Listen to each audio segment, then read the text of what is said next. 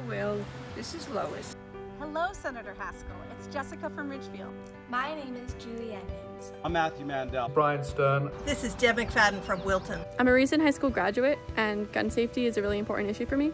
My name is James Russell, and I've lived in Ridgefield, Connecticut for 35 wonderful years. Senator Haskell is by far the most responsive politician that I've ever come across. Will always returns my call. I contacted him about a dangerous curve in Weston Road. I went to him and I voiced my concern about the amount of people I saw idling at my school. I sent a petition to Will Haskell and he got to work right away. He knows how to cut through the red tape and really get results. Will Haskell shows up for seniors on fixed incomes, for struggling small businesses, for students overwhelmed by college debt. I know that he's going to fight for the quality public education we have here.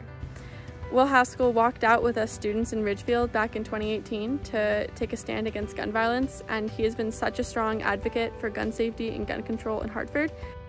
I'll be casting my first vote this November, and I couldn't be happier that one of my first votes will be for Will Haskell.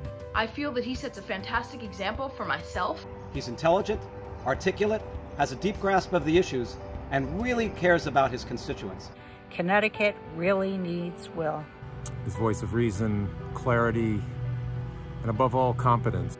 These are difficult times, unprecedented times both in human and financial terms. If not now, when will America be done with systemic racism and embrace racial equality?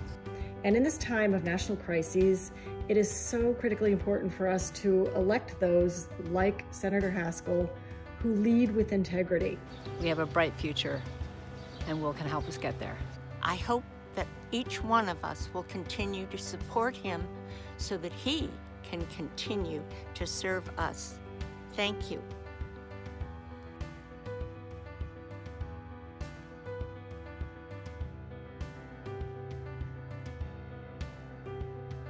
I'm Will Haskell, and I approve this message.